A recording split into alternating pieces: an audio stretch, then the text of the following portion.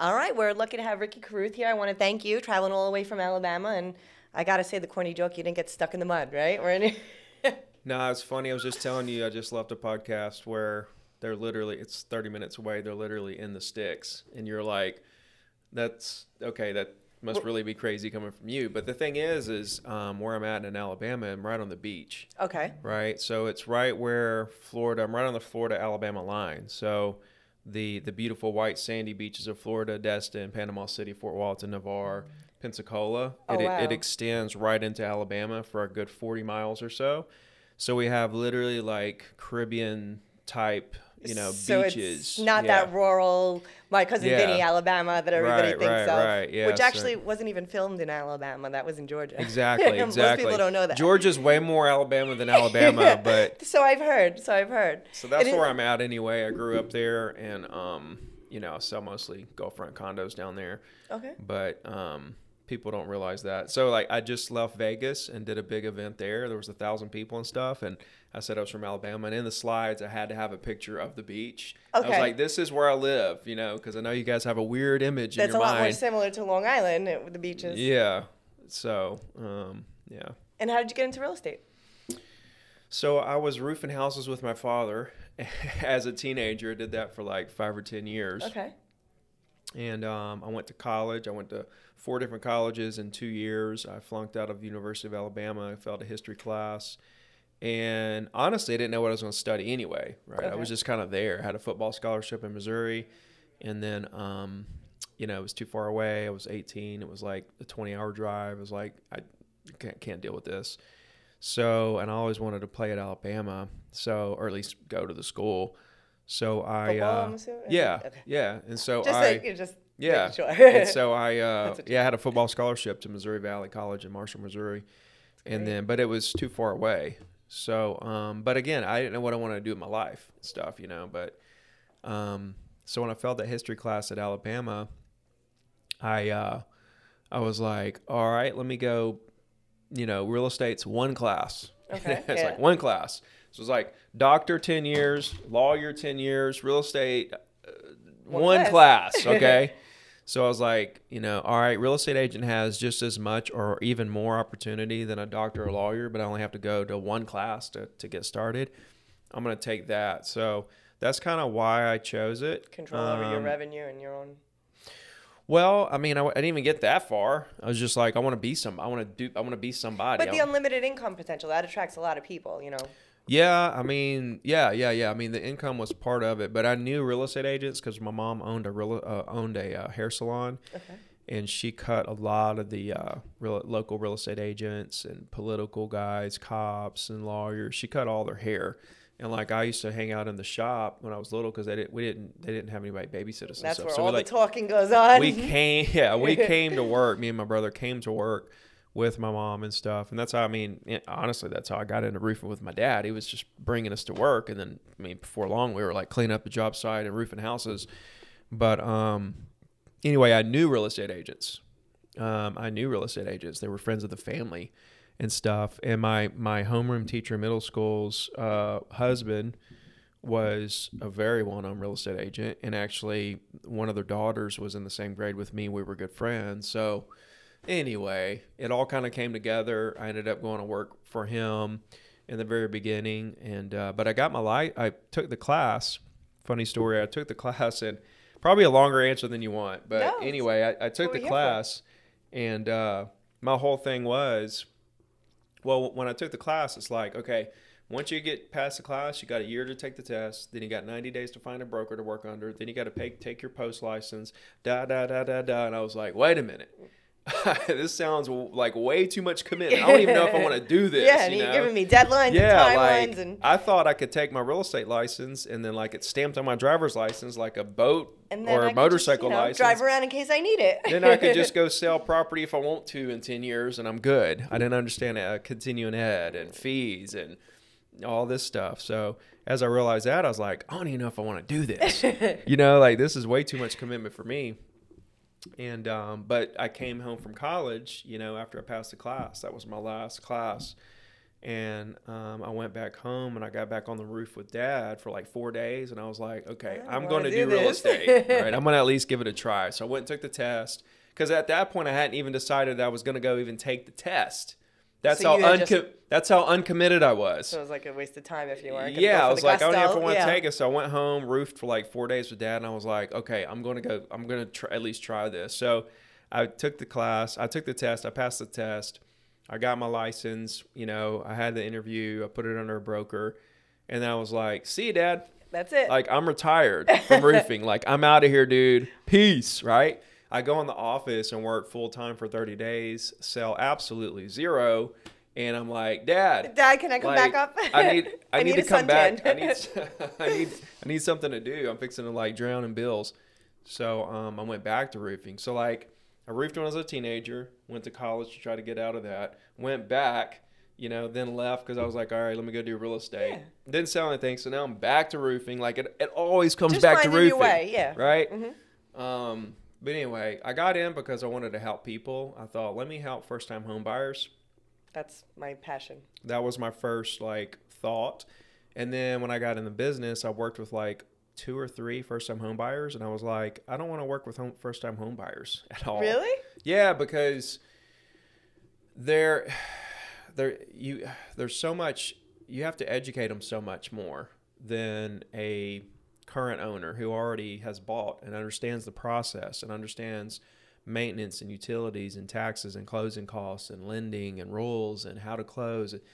You know when you take a person that already owns property you literally cut out like 80 or 90% of the time you spend educating the first time home buyers on what the process is that I could then take that time to go spend to help more people That's instead of just focusing all, all that time on one person. Because the other side of me is is I, I'm I'm constantly trying to become more and more efficient. Where can I Quantify everything. squeeze some time here to deploy into scaling more, you know, in another area? Where can it, you try and bring more value? so I ended up um, selling Gulfront condos, which was like the big money. Like, and they turn over so much. It's more of an investment. It's the gray area between commercial and personal because they buy it because it brings in money while they're not there. So that there's the investment factor. Mm-hmm. How much does it make a year? It's going to appreciate all that investment stuff, but then they also buy the condo. They want to spend time with their family at it, make memories at the beach and stuff. Yeah, because I'll have a few weeks out of the year where they keep it for the owner value and So it's really cool because it's like they it's for me it's like the gray area between commercial and those cold buyers that are only looking at numbers but there's also the emotional side of it you because know you're gonna get some.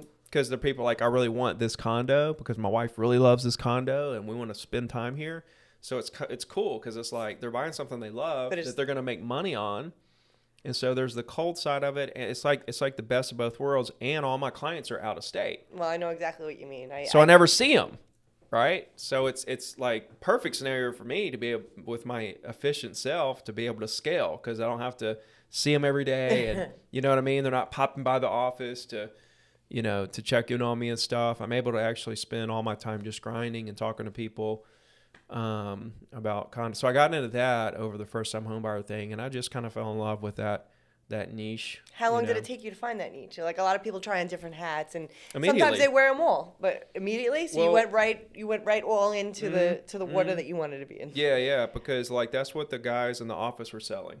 Okay. And so I was kind of learning from them. So like I was around other agents who were selling Gulfront condos. So it, you know, obviously uh, since I'm learning from them, they're teaching me how to sell them. Um, and so I think it was more the environment too, you know, and I saw how much money they were making and stuff. And I was like, wow, you know, th- this is, I want to be like these guys. Um, so after the 30 days, I went back to the roof. It took me eight total months from getting my license to closing my first deal. Okay. So I'm roofing and selling real estate, you know, all at the same time. Um, and so that was interesting. But um, yeah, I finally got a deal. I closed two deals on the same day for my first deal, and then I kept roofing for like another couple weeks, and I got two more under contract. And then when I got the next two under contract, I was like, okay, I think I'm gonna hang my roofing. I'm gonna go my, for my it, yeah. roofing toolbox but up. but you know to make a long story short the funny part of the story is is a couple years later well i made a million dollars and i'm only like 22 23 at this time and i start flipping houses and um, you know, it's not a good idea. It wasn't a good idea in 2003, 4, and 5 because the crash, right? Yeah. So I ended up losing everything. They took my home, my car, cars, houses, you know, everything. I was bankrupt, sleeping on friends' couches, sleeping on my car that a friend gave me, eating out of people's refrigerators and stuff. And I was How'd like, Dad, back? huh? How'd you battle back on that roof again? Yeah, I was like, Dad, you know. But the thing is, is dad wasn't roofing anymore. He was uh, he had got into real estate by that time with me. I got him into real estate, and um, um, he went straight and worked on an oil rig when everything kind of crashed and burned. I went to roofing and I was roofing with just a random roofing company around town because that's really what I knew how to do. And um, after he worked on the oil rig for a year, I got a job out there. So now I'm working on an oil rig every other week. Anyway, I got laid off from the oil rig in 2008 and got back in real estate. So I, so I took everything I learned from losing everything, right? And so the two things I learned that was the most important things that I learned was that when I was on that oil rig, I was I realized because I kept studying the market because I'm like, I got to figure out why I failed because I'm the most honest, hardworking, dependable guy I know. What If you can't do it, why did I fail? You know, and what I came up with is that. Um, sorry, let me turn this down. What I came up with was that the clients that I was representing when things were great were still buying and selling when I was on the oil rig and on a roof, right? And so it hit me. I'm like, oh my gosh, it's about people. If I'd have maintained the relationship with these people, you know, then I would have been representing them instead of another agent during this time. They were selling bad Create assets. loyalty factor. Yeah, they were they were selling bad assets and buying great assets cheaper, right? Mm-hmm. And I was like, "Oh, right. I think I have I'm onto something here." The other thing I realized was that closings happen every single day forever, no matter what, no matter what, regardless of the market conditions. You know, dot com crash, 9/11, 2008 pandemic. People need to live. During all of those really incredibly scary times economically, there were unlimited amount of closings, right? So uh, when I realized, okay, the market's never going to zero, and a lot of agents um, and mortgage people and everybody in the industry, there's a lot of people that don't understand that philosophy, and so they're kind of they have fear of the market, but it'll never go to zero. I mean, It's what you're experiencing right now. So many people are fleeing. you'll have fluctuations where you have more transactions and less transactions, prices, all this kind of fluctuates, but it never goes to zero Correct. right? And there's always opportunities. And, and, and when you build your business around relationships with people and you build that database really large, where all these people love you, you're going to get, you're always going to have business no matter what. It may not be as much this year, the next year, or more. That's like when the market exploded in 2021. Um, you know, a lot of agents and mortgage people did incredibly well. It wasn't because they did anything different from 2020 or 19 to 21. It was because the market was kind of The recipe was there. had the surge, right? Correct. So the market will help you and deflate you, like that will happen.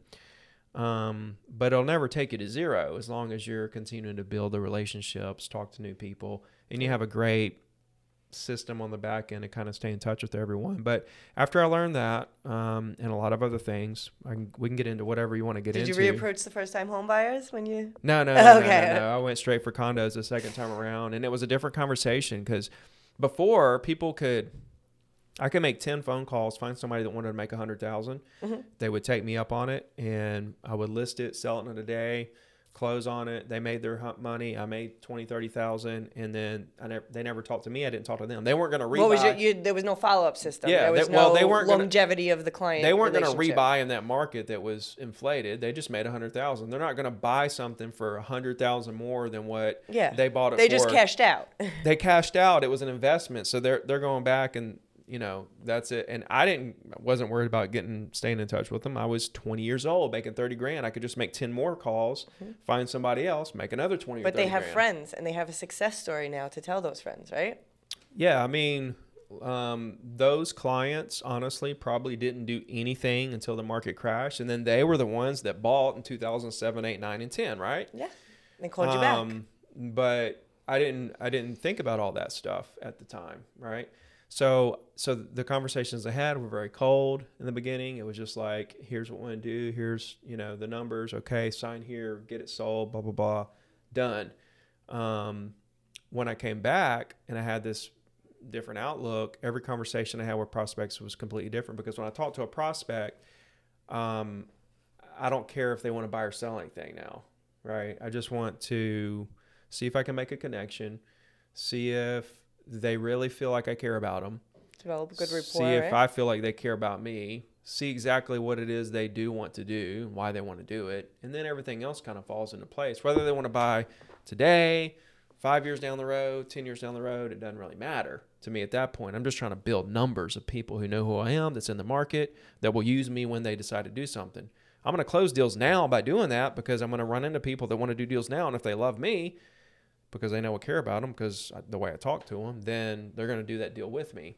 If they do a deal later, that's fine too. So the conversations were completely different. I was like, oh man, like I'm getting it, you know? So I built my business up by 2014 to 100 deals a year, single agent, did that for eight years in a row.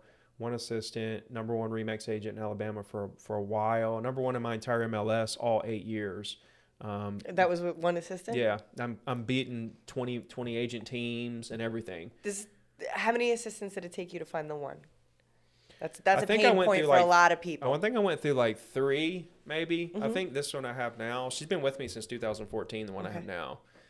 Um, To me, I find that one of the hardest things is when you get to a level of success that you want to duplicate yourself, finding the right person. That's that's that's sometimes the biggest struggle. So that's the biggest thing with agents that are making a hundred thousand, a hundred fifty thousand. You know, they're like, I want to scale it up to five hundred, a million. Yeah. I'm like, you know, do you have an admin or something? And basically, like most of them that are at that level, they say they have a transaction coordinator that only does that little Mm-hmm. Yeah. sector of your business. correct. That's like they don't this handle business. all the stuff, right? Like you need somebody setting up showings for people that want to see your listing, setting up your showings when you want to show buyers, putting things in MLS, sending contracts to get electronically signed. Um, helping your database, your follow ups. all that stuff, you know. Um, I actually still do do all that myself, but um, taking all that off my plate to where I can just focus on clients, you can't scale unless you have someone. So and that is a problem because the next thing they ask is, okay, how do I find that person, right? And it's I'm I'm kind of like I don't know. Yeah, it's that's like you know the needle in a haystack that most The first one for. I had was like my dad's girlfriend. She worked there for a while. And then the next one I had was a uh, like a friend that I Mhm. knew in high school and stuff. You know, she worked for like a year or so and then she got another job. She she was okay. She wasn't the one. hmm And then I was like, what am I gonna do? So like I put an ad out and I found and like I had a couple people come in and they were horrible. I mean, just bad. Like one of them was like, I can type so many words a minute, and like they came in and like I could tell they did not even know what the keyboard was. It was Yeah. nuts. It's like, how did you tell me you typed so many words a minute? And it's like you don't ever think I'm gonna figure that out. You like can teach could, a business, you cannot teach personality. they could not type at all. Oh. You know, like, at all. Oh, like not they, they're, yeah, they were Oh. like, "Where's the letter?" type thing. It Oh. I thought you were saying they could type, but they couldn't do anything else. But they couldn't No, even type. couldn't even right, so we're, we're a little worse. No, she's like, I typed this many words per minute, and it was like, wow, you can type that. Like that would be really good if that if you can really do that. Literally, could not even find the letter on the keyboard. oh, she you know meant what I mean? could speak that many words a minute. Yeah. But uh, but the one that I have now, it was actually she was working for another broker in town, like a big broker, and I got downwind that she was not as thrilled to be there anymore. So this was somebody with experience, you know, in the market, already knew MLS, how to navigate it, already knew a lot of the agents around town. You know what I mean? Mhm. um, and uh, and so you know, my advice is you know just keep trying find someone, and you know if you can find someone with some experience, Yeah. you know. That's always the best, but I don't want to be in that position where I'm looking for an assistant because that literally is the key. Because a great assistant will double your business overnight. Correct. A bad assistant will drive your business straight into the ground. That's the problem. and a lot of people, organic salespeople, have trouble matching that sentiment that they, you, like you spoke about how you spoke to your clients. Yeah. That's something often that you can't teach. You can teach, well, the mathematics, you can teach the calculations, you can teach MLS. You can't sometimes teach people the approach, how to how to give a confidence and how to how to how to show loyalty, how to show that you're putting the client's needs first. All these things that when you're speaking, they're antennas that go up, especially if you're dealing with seasoned investors. These aren't, you know, novice people that you could just, you know, put together a spiel for. So Yeah. that's often I, I find is the biggest struggle. What would you say? What would you suggest people like? What was the key to your success with your? When did you know she was the right person? Because you went Well- through three, so when you found this person, she had the experience. When, wh- did you hear her on the phone that time when you said, "Yeah, she's got, she's got it"? And not just the experience, but she's got your, she's echoing your sentiment. Well, um, you know, for me, um, you know, I never really put her on the phone at all. Okay. She might have talked to agents So about she's not stuff. speaking to your clients. No, not at all. Okay, Not at so, all. So talk about that setup because that's something that really people. I mean, if you don't mind, that's. I think. Well, I mean, um, you know, uh, you know, for me, it's like I got to deal with all that. You Okay. know, like um, if somebody wants to see property, I need to understand why they're looking to buy. You know, I have to understand that to so make you keep to the client and keep exactly the exactly. So that that's kind of the thing for me is like you know the admin takes everything off your shoulders so that you can focus everything on people and your clients and relationship building um, um, negotiations you know closings showing property um, things of that nature you know. So my business is like this. I uh my my bread and butter like my big secret sauce is a weekly email Okay. right? A weekly email to my entire database on the same day of the week, Wednesday, forever. I've been doing it since 2007. It's literally in 2017, I quit prospecting altogether, continued to sell 100 deals strictly off the weekly email. No social media, no direct mail, no follow up to see how people are doing, nothing. Just complete, just servicing clients that are calling me that have known me forever through the email or done a deal with me or referred to me or whatever. Um, today, I've got 19,000 people on there, 7,500 open it every week. So it's a nice, solid brand there. It's Yeah. a nice, solid, um, you know, avenue. Um, and so I still do that email. Like I've, you That- know, been totally, you're- layup. right so like at this point, back in March of last year, wow, I'm, I'm working on a year at this point, which is crazy to me that I stepped out of production. My dad at this point handles all showings, listing appointments, So negotiations. we finally got him off the roof. We got him off the oil rigs. Yeah. mm mm. So he's doing that, and it allows me to step back and just do social media full time. So I like I'm full time creating, brainstorming, filming, doing podcast and Zoom calls, and traveling and speaking and doing all that stuff full time, and then building other businesses on top of that brand, um, which is a much bigger opportunity. But um, he he so so at this point where my business is now is is I still do the weekly email. That's basically my only responsibility in the business In the in the actual real. outside of him and I consulting about deals because he'll call me and we'll talk about the deals and what we should do and stuff like Strategize that and- because it's our business and he wants me to have a say so he he makes the executive decisions most of the time but he'll so we work out every morning together as well um, at six o'clock so we're able to spend that time together talking about life and business and deals and stuff so that's really cool That's so valuable too for the just the father son and Yeah, exactly. that- that's, you know, Exactly. you He just started doing no- that. You can't put a dollar on that value. He just started doing that a couple months ago, probably five or six months ago, because his doctor was like, "You need to start working out," you know. Mm-hmm. And so I was like, "Well, come to the gym," and like he hasn't missed one day since. That's I'm awesome. like, "Shoot!" Like normally I'll miss a day like here and there, you know, if I'm a little tired or something. We haven't missed a single day because I know he's going to be there and he's there before me every day. It pisses me off. Well, that's But, that uh, motivation. Now you got yeah. your gym buddy. right, right. But um, but yeah, he he does all the the back end like day to day, and then she handles everything else. Um, but she doesn't talk to the clients. The only reason she would talk to the clients is if if it's a owner that has a listing, and we have to go through the owner to show it, then she might talk to the client in that situation. just for the appointment structuring and Yeah, yeah. So I don't know. I think people try to automate too much nowadays. Mm-hmm. Sometimes Um, just that old school Yeah, I think voice on the phone, familiarity. Uh, yeah, exactly. I think that like you should take advantage of technology and the communication, you know, era that that's come through. But if you can combine, if you can take the best parts of this new modern world and the best parts of the old school, you know, world and combine those two into your business and kind of form your business around both instead of just trying to let AI and automation do every little piece of it um, or instead of doing everything on your own, then you would be super, super dangerous. And that's what I did. You know, and that's that's that's why I was so dangerous is because I kind of combined both old school and new school, um, you know, into my business. I'm probably still a little too old school, um, you know, on the real estate side, but you know, like I got a coaching program, right, totally free.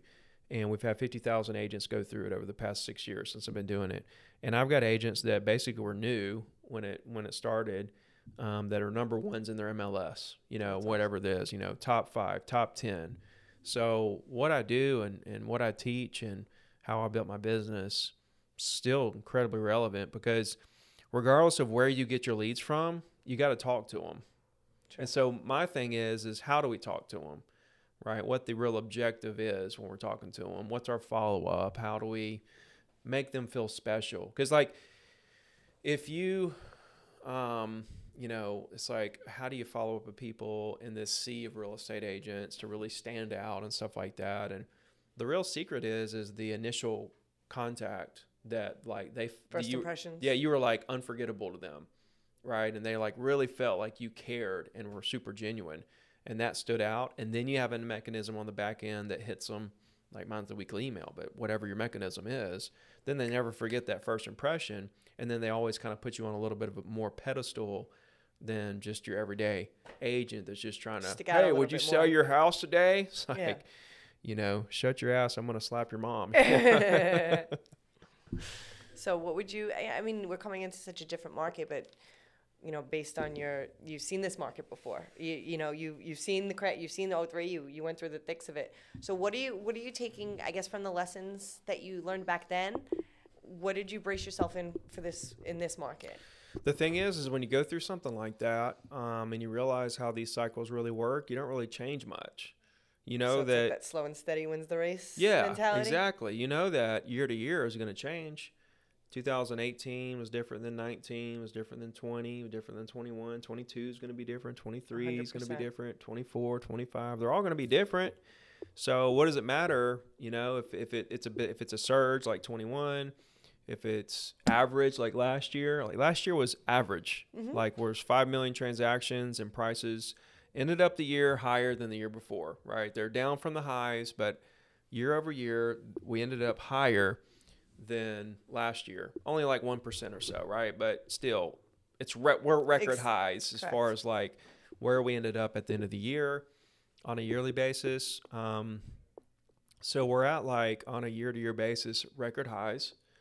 We had 5 million transactions last year. That's just an average year. I mean, before the pandemic, we were having four and a half to 5 million transactions a year.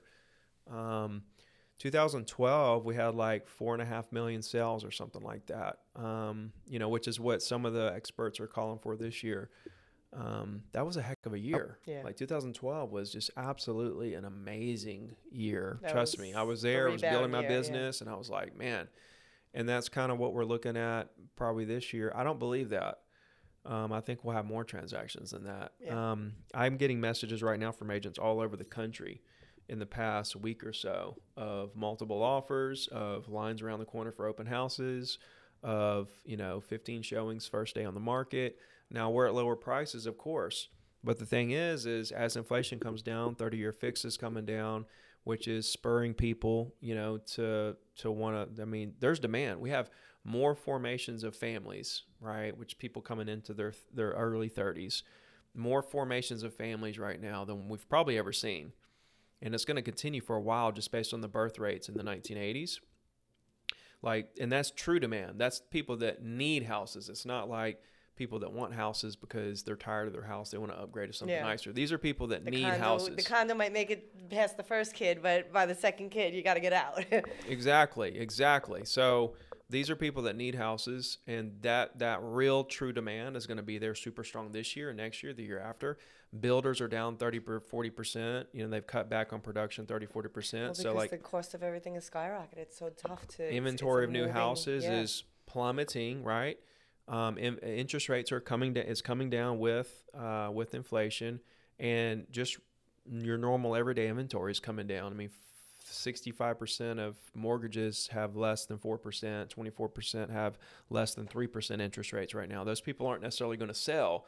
you know, they they're they're gonna some of them are, but like we're not gonna see a huge wave, right? So with because formations, paying more based on the uh, the uptick in the interest rates. and there and some of them are going to be okay with that because they really want to upgrade or whatever, Correct. right? Plus they can use buy downs and you can get a better rate. I mean, like the rate's like six percent Mm-hmm. whatever right now. You can get a much better rate. Like you can find a bank that'll do five right Yeah. now. Like I know people that into the fives. E- even sure. even even regular conventional loans, I'm hearing of people quoting around five percent on some stuff here and there.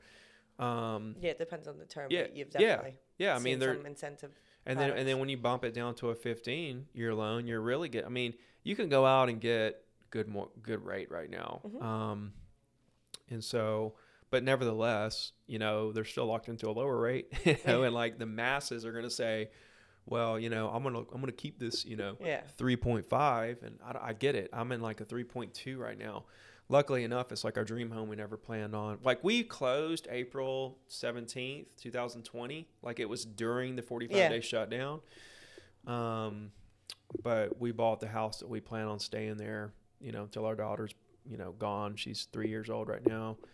So um but anyway like what i see is is people already starting to come out right? 50% more people are googling house for sale houses for sale than they were back in november right? So that's an uptick in just regular online searches. And now you have inventory dropping that it, it drops this time every year till about february. Correct. even in 2021 when the market surged right inventory went up you know and then back every year it goes up and back down up and back down.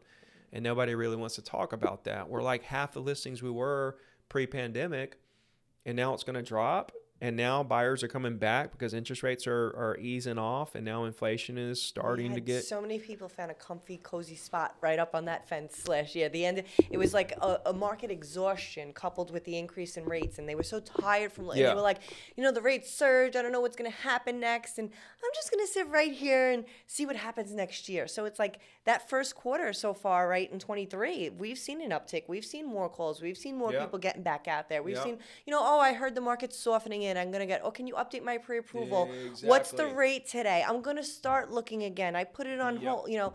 So it's like it, a lot of people kind of just go into the holidays. They hit Thanksgiving and they're like they want to see their family, right? We went through COVID a few years. People didn't have that family, you know, atmosphere, and they were just tired. I, I find sometimes it's just human nature to just, you know, It they were it. exhausted. it needed it. You know, when you're paying fifty thousand more than the last uh, than what they're asking, and you're getting zero terms, you're paying all the closing costs. You're paying. You're you're not even you're not even getting the right to inspect the property. yeah. You know, it the market needed to. I mean, these people were waiting on lines in the cold and, you know, going back and forth, taking turns going into the cars, warming up, husbands and wives, and putting the kids away. And, and I'm, you know, meeting my realtors and serving hot chocolate. And I'm like, we felt like we were in a twilight zone. We were, you know, that's not normal. Yeah, yeah, but you know what? We're fixing to be back, not in the same position, um, in my opinion. I mean, rates would have to get back down where they were, like two, two and a half Mm-hmm. percent or whatever, for it to get that crazy again. But honestly, we're gonna be in a similar type situation spring, I when think. it comes to supply and demand. Mhm. Demand is so strong, and keyboard warriors on my videos, you know, you know, uh, demands, you know, twenty year lows, and um, you know, you're not counting in in this and that. You know, it's going to crash so hard. Housing is done, and all this stuff. It's like, okay, show me some data behind this, these statements. You Yeah. know, because I show straight data in all my videos. You know, and they don't they don't give me. I'm like, please give me some like real data, some numbers to go by, because I'm going by numbers here you know, and they're like, well, mortgage applications are down a 20 year low or something like that. And it's like, well, this is going to happen in stages, ladies and gentlemen. If you spike interest rates higher, it's quicker than they've ever been spiked before in a market when prices are highest as they've ever been. Yeah. You're going to have a temporary slowdown. But, you know, let me ask you this what do you think all these 50% more people searching for houses are going to do? Right? They're going to start filling out mortgage applications before long.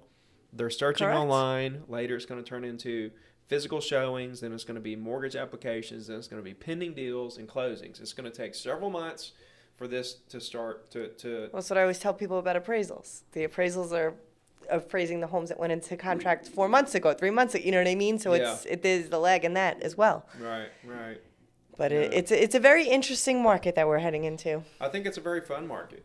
I think so too. I think it's I think it's one of the one of the um, most fun, exciting markets that that you know, the 2021 market came out of nowhere. I say came out of nowhere. I did a video in the complete shutdown, that 45 days we're Mhm. locked down. I released a video like April 20th. You know, the economy reopened May 1st, hmm and um, I did a video and I said about to see the largest real estate surge we ever saw. Of course. I didn't understand how big it was going to be and how crazy it was going to be. It was really out of nowhere. Um, but what we're moving into now is totally telegraphed, right? That you couldn't really tell what was going to happen. This, it's like the writing is on the wall here. Well, it's You know all what I mean? relative, right? I mean, five percent didn't sound good when you're coming off two and a half or three percent. It sounded atrocious. But now, when we broke seven in that you know fourth quarter of 22, and people saw the the national average go to 7.19 percent, now five percent's looking a little more attractive, right?